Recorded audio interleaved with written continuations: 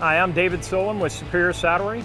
I'm here in Tulsa today with my partner Monty Anderman, and we are here uh, with Superior Saddlery, owned by Andreas Maschke. Uh, Andy is one of the premier saddle makers in the world today, and uh, we're excited to be here in Tulsa. We're excited to be back at the horse shows. The NRBC has always been a fantastic show. We're thrilled to be a sponsor of the event. We're thrilled to have so many people that ride in the Superior Saddlery saddles and uh, we're located down here in, in the alleyway between the Mustang Arena and the Ford Arena, uh, down by the front of the show offices on the outside.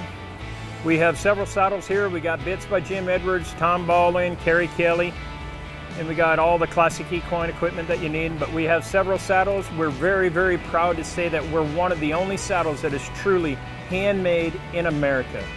And uh, everything we do is made in America and so we're proud of that. And stop by and see Monty or, and I. We're here at the show. Monty also has his uh, truck and trailer always in Texas, and then I have a rig in Scottsdale, Arizona. But we'd love to see and appreciate all of everybody for their support, and uh, wish everybody the best of luck. Safe travels.